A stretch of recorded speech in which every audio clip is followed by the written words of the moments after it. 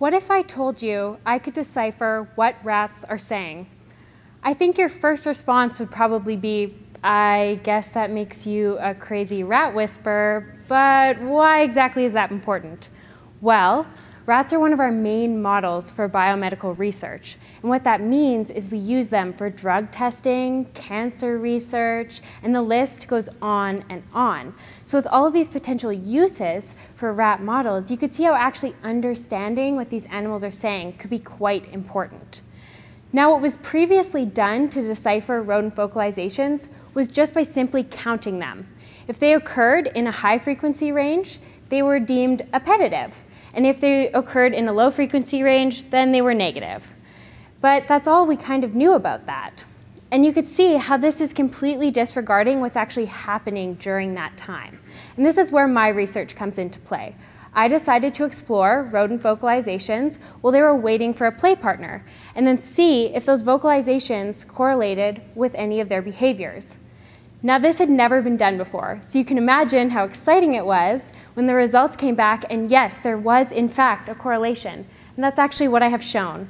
The active behaviors, such as walking, jumping, and running, are all strongly correlated to a distinct and discrete call categories.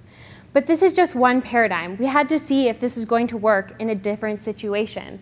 So after analyzing two rats playing, we found that again, the correlation is continuing to work. And further, it appears that these rodents are using the vocalizations for social communication purposes, kind of like saying, hey, I'm over here. So what this allows for is a baseline for normal rodent vocalizations. And let's think of this like your baseline heart rate. A doctor uses this to diagnose if something's wrong and then how to fix it. Now, researchers are going to be able to use this in a very similar way. They'll be able to tell abnormalities in their rats' vocalizations and behavior and diagnose what's causing it.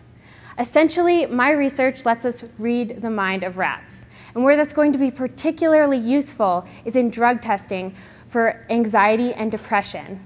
Right now, in some large pharmaceutical lab, someone is counting vocalizations to see if the antidepressant they're testing is working. And with my model, we know that this isn't the whole case.